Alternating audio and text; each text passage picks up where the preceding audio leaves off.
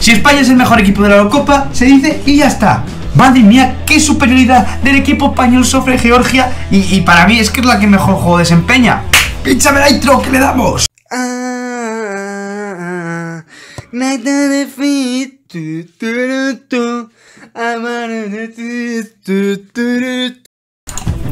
Partidazo de España contra Georgia que le metió 4 goles a 1 y pudieron caer muchísimo más porque por ejemplo gente como la Yamal no estuvo acertado que pudo meter un hat-trick perfectamente em, y, no, y no, no encontró puerta pero no me preocupa ¿Por qué? Porque España tiene una forma de jugar, una personalidad que es suya y la han ido formando eh, conforme han ido pasando los torneos desde la Nation League, que ya teníamos un juego algo parecido, pues hasta este Eurocopa donde está siendo la selección más sólida, la selección con las ideas más claras y la selección que no ha variado prácticamente eh, su juego desde el inicio hasta ahora, hasta ya los cuartos de final. Entonces eso es súper importante porque, por ejemplo, las otras favoritas que son en teoría Portugal y Alemania, Alemania contra Suiza pues sufrió bastante, no consiguió encontrar su juego.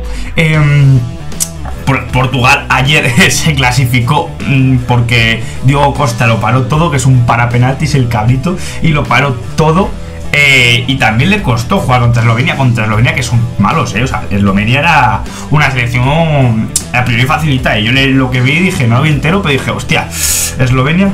Pero total, España, menos igual ese partido de Albania, que eran, porque entre otras cosas los suplentes, pero aún así sí que se siguió eh, tratando de ir por la misma línea. Si es verdad, el ritmo de balón era menor, pues eso, las, em, las combinaciones eran más lentas. Pero bueno, intentábamos buscar en la misma línea. Y eso es lo que hace que en un equipo como este, em, o sea, en un torneo como este, donde en cualquier momento se te puede eh, truncar, como le pasó a España con ese gol en propia, que no hizo nada más Georgia, que, encima yo escuchaba a los comentaristas, no, es que nos están atacando, nos están haciendo eh, contras. ¿Qué momentos? ¿Tiran la puerta Georgia? Hostia, te van a hacer algunas contras. Esta es una Eurocopa. Alguna contra, claro, encima si tú tienes esa propuesta ofensiva, pero las estábamos solventando bien. La estábamos olvidando. Es que no había ningún tiro, entonces eso me puso un poco nervioso de los comentaristas. O sea, que, esperas que no te tiren ninguna vez en una Eurocopa. No, joder, es que lo hemos conseguido. De hecho, el gol no lo hemos metido nosotros. En fin. Pero lo que digo, cuando son mal dadas y tú tienes un estilo en el que confías, te puedes seguir agarrando. Si es verdad que tras el gol en propio, unos minutos ahí, 10, 15, como de intentar eh, llevar ese juego al extremo, es decir, ser mucho más rápido, ser mucho eh, hacer los ataques eh, con menos pases, intentar hacer el pase filtrado, el pase a la banda lo más rápido posible, un poquito de guerra por nuestra cuenta en esos 15-20 minutos por gol, donde se fue un poquito la olla a todos y eso sí que propició alguna que otra contra más de, de de Georgia, pero más que nada por eso, porque si tú eh, te precipitas, vas a arriesgar más y arriesgar más es más probable que el defensor te corte los pases o que el defensor, pues eso, eh, al ser más arriesgado el pase, pues hay más posibilidades del, del éxito defensivo. Entonces, claro, España atacando, intentando remontar, un poquito más adelante, un poco más despacio atrás y por eso las dos contras tres que no se hicieron, pero sin peligro alguno para mí. Y después de eso España siguió con la suya, siguió confiando en su estilo, siguió confiando en la forma que venían jugando todo el rato, manteniendo esa esencia, manteniendo su idea y poco a poco volviéndose a hacer dueña del partido y pudiendo meter 10 goles. Es que pudimos meter 10. Dices, que exagerado. Mamarrasvili paró 3 o 4. 3 o 4 y no eran 3 o 4 de que te viene aquí y dices, joder. O sea, paró. Eh, se hizo una parada a Carvajal, la sacó muy bien. Le hizo otra Lamin. Lamin tuvo otras dos que pasaron cerca del palo. Fabián creo que tuvo otra. O sea, tuvimos. Dani Olmo tuvo otra que se quedó solo y dije, me cago en la leche, ¿cómo fallas eso? Eh, pues eso, que tuvimos varias opciones para, para meter gol. Al final fueron cuatro, pero si hubieran caído alguno más, eh, a nadie le hubiera importado.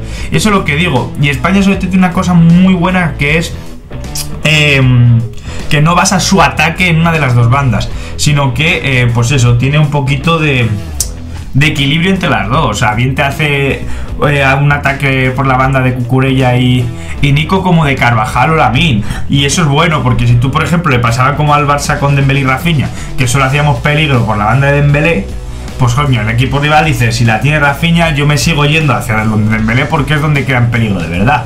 Si ya tienes en un, en un, en un lado una pareja que es Cucurella Nico, que se te van a ir siempre entre los dos, porque es que también dentro de las propias bandas, tanto Carvajal como la, con como Cucurella con Nico, no hacían unos ataques monótonos, es decir, no era el típico Nico que se la daba y Nico se intentaba ir, que eso sí que lo potenciábamos bastante, pero había veces que era Nico el que se metía por dentro y era Cucurella el que cogía línea de fondo, a veces era Cucurella quien se metía por dentro y el doblaje lo hacía por el interior, y así no solo eh, tenía opción de pase al hueco, para Cucurella, sino que liberaba al 8. O sea, y lo mismo en el otro lado, Carvajal y Lamin igual, Carvajal para el medio, Lamin eh, por el fuera o al revés. Y dentro de esa. Mm, o sea, dentro de que atacábamos equitativamente por las dos bandas, teníamos varias opciones de atacar. Mucho desmarque también de los 8 de ese lado, tipo Fabián y y, Ferra, eh, y Pedri por ese lado que intentaba muchos pases interiores y un equilibrio que te da Rodrigo, por favor, qué jugador es Rodrigo, qué equilibrio, qué solvencia, te ayuda a organizarte atrás, salida de balón limpia, orden del equipo, o sea, este tío es muy bueno, este tío es muy bueno, madre mía, y yo sinceramente, si seguimos jugando así, no tenemos rival en esta Eurocopa. Porque Francia eh, ganó justito a una Bélgica que ya venía justita. Justito de un gol en propia. Eh, Portugal, cuidado, también. Mm, lo que ha ganado. Este. Mm, eh, Alemania, cuidado también, eh, que le costó. Alemania le ha costado los dos últimos partidos y tampoco termina de encontrar su juego. Que esto no te dice que igual tú eh, seas superior porque estás siendo el mejor equipo y seas superior y a ti no te entre los balones y te pase como Georgia que te mete en un gol y pierdes 1-0, claro. Al partidos a o rondas a un partido, te puedes perder, pero yo creo que si España sigue manteniendo esta esencia, sigue manteniendo este control, porque sabe muy bien cuándo acelerar el ritmo para em, en esos tres cuartos, ese último cuarto para para empezar ya a buscar eh, acciones de peligro, como cuando disminuir el ritmo para descansar y defender con pelota. Eso lo controla muy bien. Es que Rodri, Rodri, Fabián y Pedri lo están haciendo perfectamente eso. Eh, el controlar los tiempos de partido de ahora me toca atacar, ahora no, ahora descanso y el continuo movimiento que hay. El continuo movimiento que hay. El único que igual le pongo algo de pero en los dos últimos partidos que ha jugado ha sido Morata. En el primer partido sí que entró mucho en balón, sí que bajaba mucho más a recibir, pero en estos dos últimos lo veo un poquito más estático. Pero bueno, a ver si tampoco ha tenido ocasiones, a ver si le llega alguna y la mete para adentro, que lo celebraremos igual. Pero yo la verdad que súper, súper, súper, súper contento con esta España, la verdad. Estamos viendo ahí los directos y, a mí me está gustando mucho. No sé qué opináis vosotros. Yo sinceramente mm, creo que España tiene muchas posibilidades. Y sobre todo ya, si pasamos este viernes contra Alemania, cuidado, eh.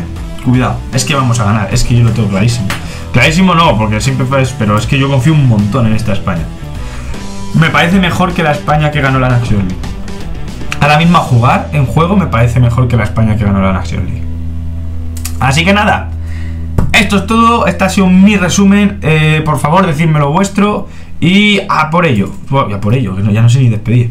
Ya sabéis que en esta casa de locos siempre para lo que más like, suscríbete, comparte el vídeo si te ha gustado. Y sobre todo, escribir, escribir, escribir, que lo que hace que este canal sea todos.